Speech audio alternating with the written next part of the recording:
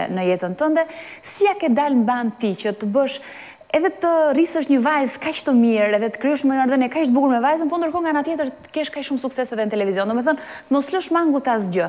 Dhe le të themi që ka një lloj mungese, domethënë na trego ti si ke arritur jo, gjithë këtë balancë dhe këtë ekuilibër. Jo, nuk ka asnjë lloj mungese sepse Ana e ka të dy jo, prindërit. Jo, për vajzën, ti për vete, duke qenë e vetme në një moment. Nuk kam pasur asnjë lloj vështirësie sepse Edhe pse unë tashmë jetoj me prindërit dhe me vajzën, përsëri, domethënë, Ana kalon po të njëjtën kohë si me mua, si me si me të jatin, edhe si kur si kur ishim bashkë. Kështu që nuk është, nuk kam pasur asnjë lloj vështirësie, në kuptimin që duhet bëja diçka më shumë ose duhet të kaloja pak më shumë kohë. Ajo është për shembull në shkollë, kthehet njësoj siç kthehem unë nga puna. Kështu që në momentin që ne mblidhemi në shtëpi, jemi gjithkohës me me njëra-tjetrën. Kështu që